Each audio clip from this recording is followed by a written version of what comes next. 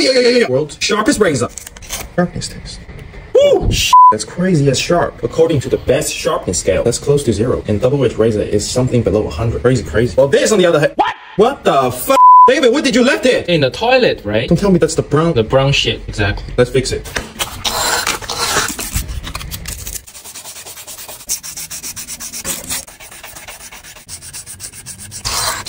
you.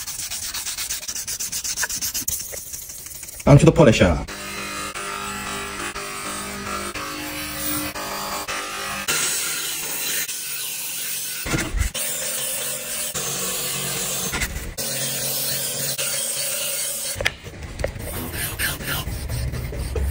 Well, the moment of truth. Is it gonna be sharp?